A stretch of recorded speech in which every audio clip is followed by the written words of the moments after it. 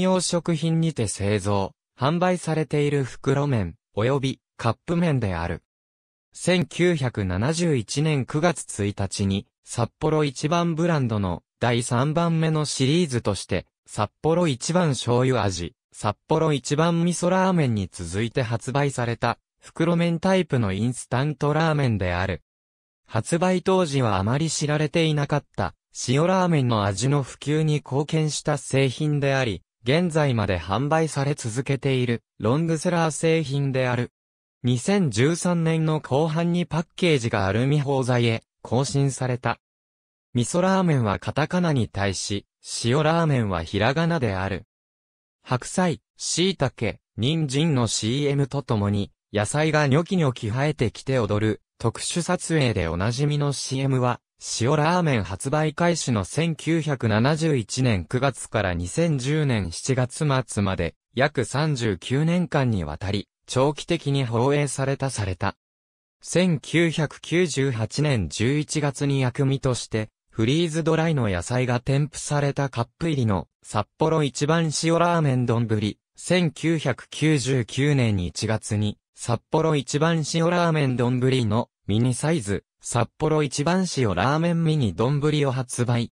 また2014年12月からは、大型サイズの縦型カップ麺、札幌一番塩ラーメンのリシオ味立てビッグが、コンビニエンスストア向けに販売されている。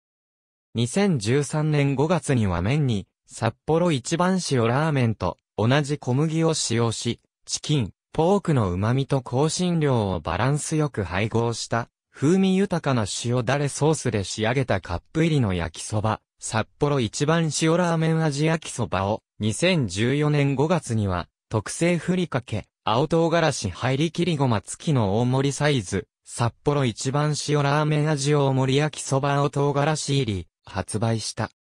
なお、2015年10月5日より煮込み、ラーメン鍋用に専用開発した期間限定の横展開商品として、札幌一番塩ラーメンが鍋になりました。鍋スープのラーメンセットが発売されている。1964年に同社が発売した長崎タンメンの味をもとに野菜の旨味を強調し、これにチキンエキス、ポークエキスを加え、香辛料で整えたさっぱりとしたスープとなっている。麺にラードが使用されているのが札幌一番袋麺シリーズの共通の特徴。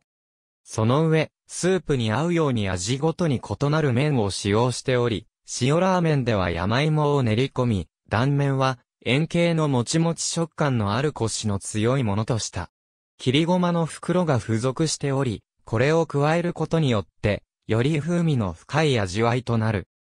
鍋にて、水 500ml を沸騰させたところへ、麺を入れほぐし、約3分ほど茹でたところで火を止め、粉末スープを加え、ここに好みにより切りごまを加える。以前は、パッケージ裏面の作り方に、卵を加えると、かき玉風にと、バターを入れると、バターラーメンにという、一工夫の例が書かれていた。ありがとうございます。